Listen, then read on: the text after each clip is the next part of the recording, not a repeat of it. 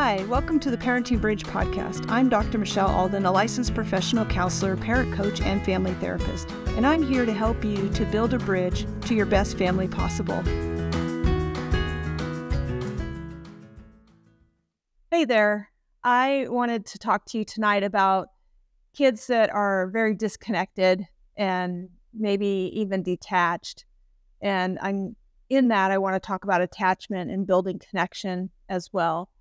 It's a big problem in our society. A lot of times I hear adults blaming the video games and the screen time and yet it's it's kind of a family thing. So I want to talk about this in light of family and connection and how important that is.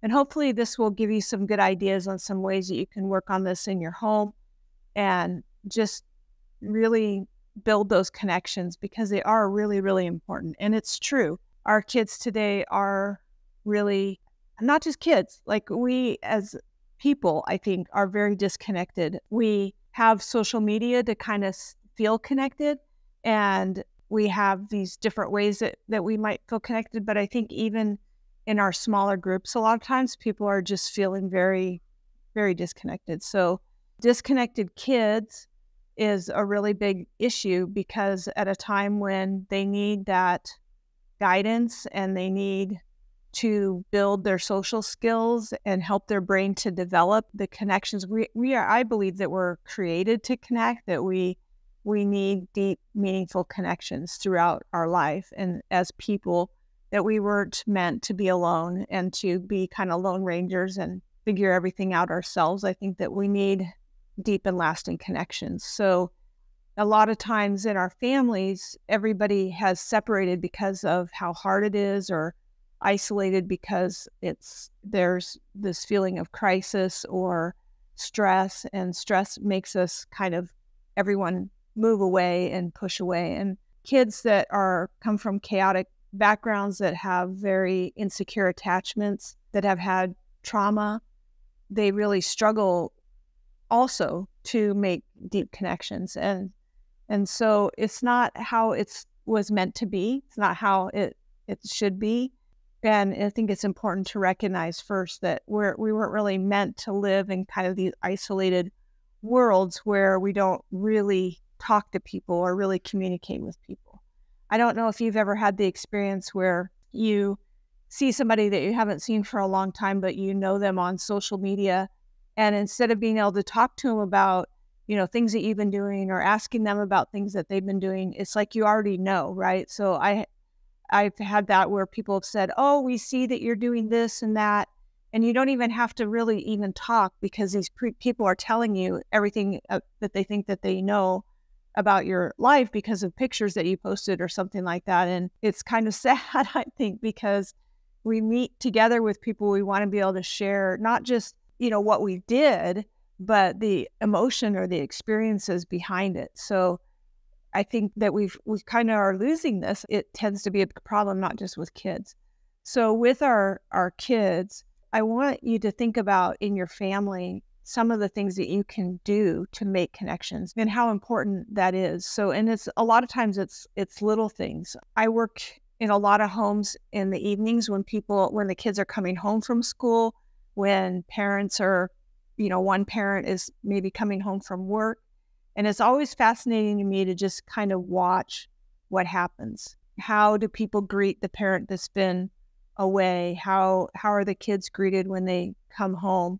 And I think it's, sometimes it can be different with with each child and every child is different too what they want what they feel and a lot of my work that i do is in post adoption working with adopted families and so there's often a disconnect too between you know, how this child interacts versus maybe a biological child. And so just take some time and just think about those interactions when people first come home and what that looks like. And and it may be that you're going to the school and picking your child up and you know how they get into the car and how you interact and how people take turns, you know, talking about their day or not taking turns and talking over each other. And I've had those times certainly with raising my kids where you know, everybody's mom, mom, mom, mom. And I would think, oh gosh, like just talk to each other for five minutes, you know? And so teaching kind of that cadence of somebody it says something and then you know somebody else can say something and not talking over each other if we don't have that practice if we don't work on that in our homes there's a really good chance that it's not going to get worked on anywhere i mean in school kids have to learn to raise their hand and you know take their turn to talk and to communicate but we don't know for sure if that's happening right? Like some kids are just blurting things out. We know that a lot of kids have impulsive behaviors and so just teaching them to calm down to take their turn to wait is really important and we can do that at home. So and it can start really really young. Most families I work with have variants of ages from teenagers all the way down sometimes to toddlers. And I think that social skills, if you start to teach those really young, are amazing and awesome, and it helps everybody. A lot of the things that we do in teaching just kind of basic good responses and social language skills with our parent coaching, it helps their brain and it helps all the kids in the family to be able to kind of build those neural pathways to where they can communication is a key to the connection and to better behaviors really and so it's a huge important piece how we say things how we interact. So think about just the simplicity of you know when people have been away all day how we come back home. And i've been in homes where a parent comes home and people don't even acknowledge that person or maybe one person might say hi and then but then I've been in other families where somebody comes home and kids, especially the younger ones, will be like, "Oh, you know, dad's home," and run to dad and and say hello. But I, and I've seen both parts of that, and so you know, you might as you look at your family and how they do that, I want you to think about what you want that to be like. So if everybody comes home at once, that can be really overwhelming. It can be overwhelming for one person coming home and everyone already there and and getting them, but but what do you want that to look like? You know, do you want do you do when I had a rule when my kids were growing up that when someone came home, they needed to find somebody, another adult in the home to say, "Hey, I'm home," so that we could say, you know, "How are you? Glad you're home. Welcome home." You know, that kind of thing. With with adoptive families, I've worked with a couple of families that just do such a great job of saying, you know, when the kids come home, like, "Welcome home," you know, and just reinforcing, like, "I'm glad you're here." I think that all of us crave to celebrate it. And so I think it is really important to take a moment with each child and be like, oh, you know, how was your day? Even though they might, the kids are not ready to answer that question, I still found that not asking it is a mistake. And so, you know, how, how are you doing? Even though they just say fine, and you can establish what you want that to look like in your home, like, you know, giving a hug or, but just something where it's an intentional greeting, I think is really important to establish connection and and you can look for other places. So those are big ones right? Like they come home from school but there's a reconnection when we've all been asleep at night and apart from each other. How do we greet each other in the morning? And some kids are ready to talk and be up and going. You as a parent may not be fully awake and ready for everything that some kids have to offer. So i like setting some routines up in the morning and part of that has to do with so how you can connect with them to start the day. So it usually works best if the kids are not up first and then you come wandering, you know, into the fray that's already happening. So I recommend that kids stay in their room until whatever time it is that you say you're going to get up. I have some parents that are morning people and so they get up early and they have that time kind of get themselves together and get ready and then they, you know, how you greet those children when they when they come into your space. Especially, I had one mom that would get up early and then had a child that would get up early. And so we established a morning routine where she had some things that she could do in the morning. She would come and say that she was awake, and then she had her things to do in her room so that mom could have her quiet time. When my grandson lived with me for a while, I had him sit, he could sit and he could draw while I sat and journaled or, you know, something like that. So you can kind of establish like this is quiet time. This is how we do it. So you're teaching that as you go. I think that if you talk about being grumpy in the morning and them being grumpy or you being grumpy, it can be detrimental because it is still a connecting and we and we even if we're grumpy, you know, how are we going to connect with each other? And so for my kids that didn't want to talk in the morning, that connection might look a lot different. Like they weren't talkative, they didn't want to answer a lot of questions, they didn't want to say a lot. And that's totally fine. I just requested if somebody says good morning, the right thing to say back is good morning back. You don't have to say any more than that. Sometimes scripting something out for a child is all the connection that you need. So so think about those other those times of the day when you're connecting after being apart. The other one is in our program, we have you have some downtime every day. And so, how we finish the downtime and how kids come out from that and how we re engage. And then also, you know, when kids, you might have like older kids that go out and play or do something. So, how they come back into the house and how they connect and how they integrate back in is really, really important. It's a transition. And it's a transition that I think we forget that we have to teach. And the other piece of connecting that I think is really fascinating is how we handle when someone leaves. Do people just get up and leave like, "Oh, did they did they leave? Did they make it, you know, who's here, who's not here?" Some parents have no idea. Like somebody just walked out the door or someone gets up and leaves, you know, in the room and and goes and uses the bathroom or whatever. It's like they don't need permission. I'm not saying that our kids have to have permission for everything that they do, I want them to just acknowledge that we're here together.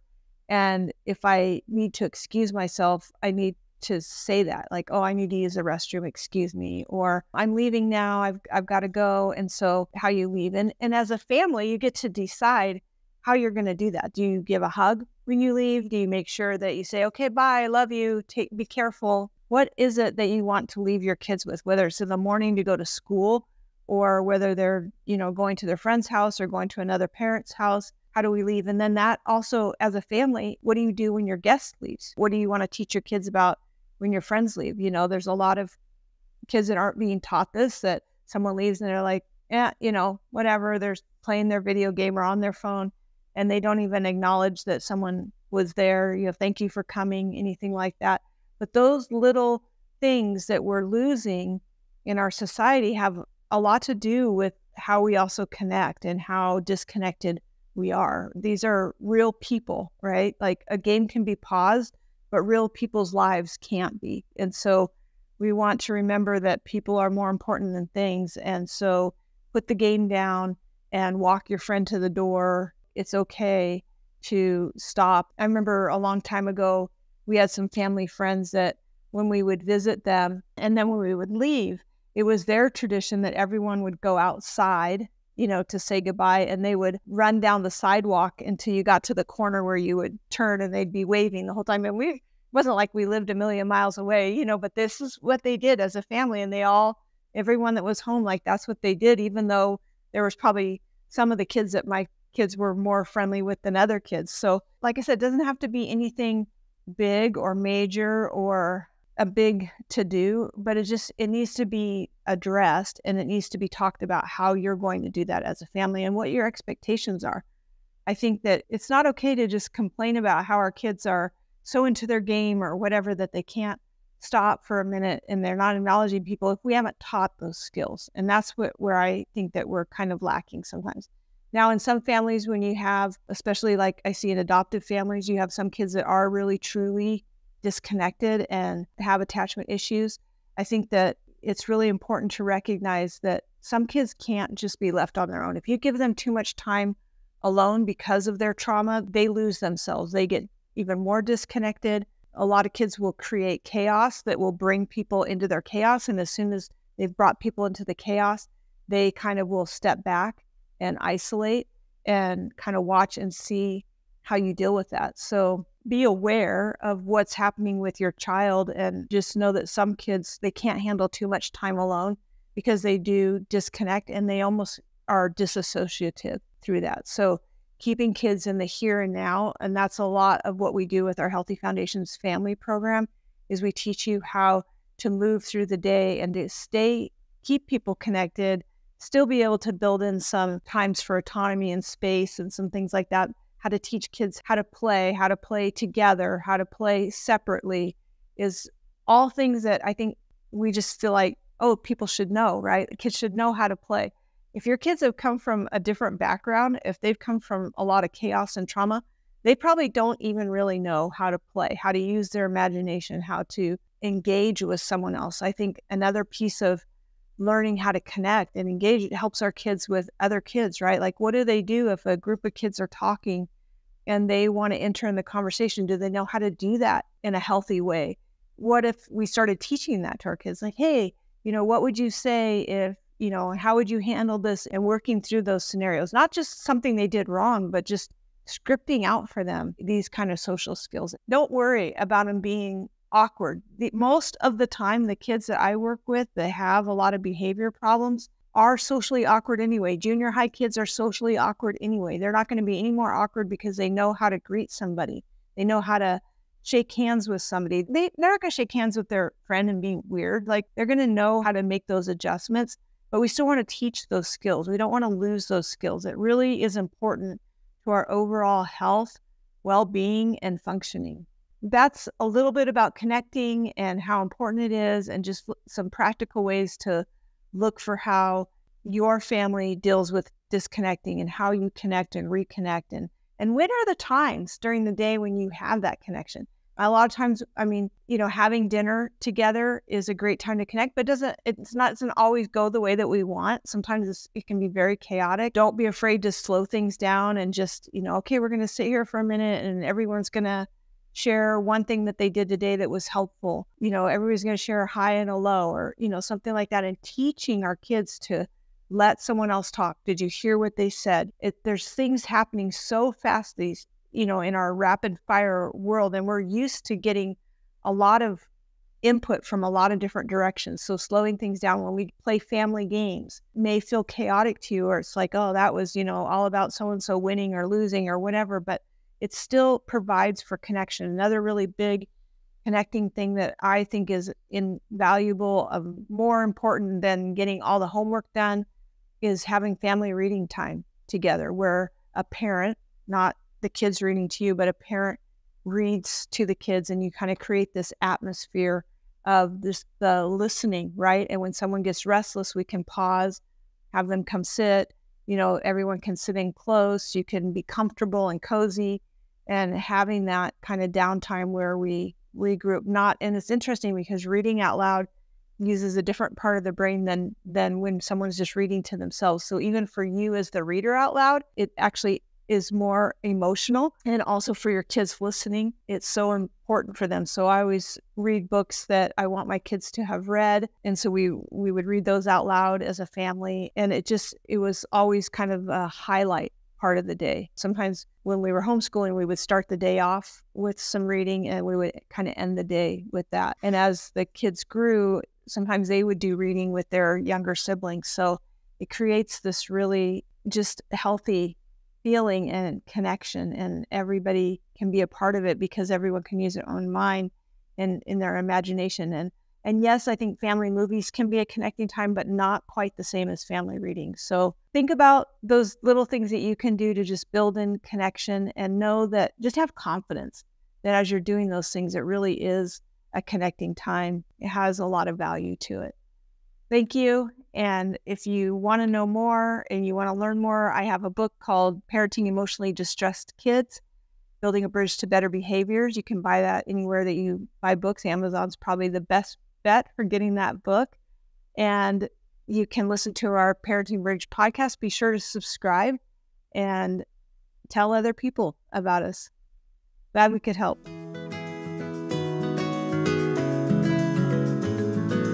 Thanks for listening to The Parenting Bridge. Do you want to learn more about building a bridge to better behaviors? Pick up a copy of Dr. Michelle Alden's new book, Parenting Emotionally Distressed Kids. Or, for more resources, you can click on the link for Healthy Foundations. If you would like to leave a comment or a question for Dr. Alden, there's a link in the notes. We'll see you next time, and remember, things can always get better.